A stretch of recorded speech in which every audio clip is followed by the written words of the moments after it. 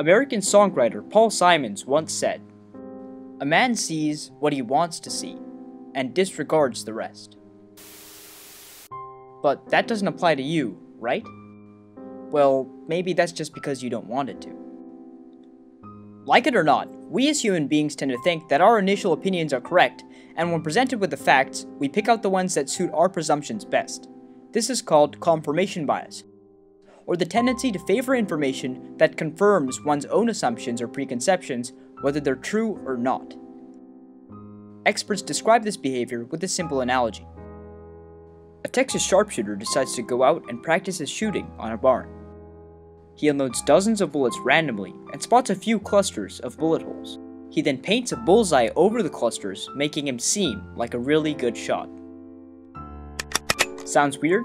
It's called the Texas sharpshooter fallacy, and your brain does it all the time.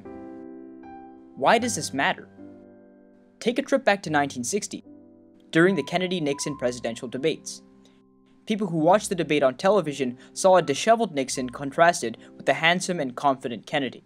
By looking at the person, they began focusing on points where Kennedy won because they wanted him to win. Contrast this with the listeners who, for the most part, declared Nixon the winner. The next time you jump to a conclusion, ask yourself, is it true, or do I just want it to be? The answer may come as a surprise.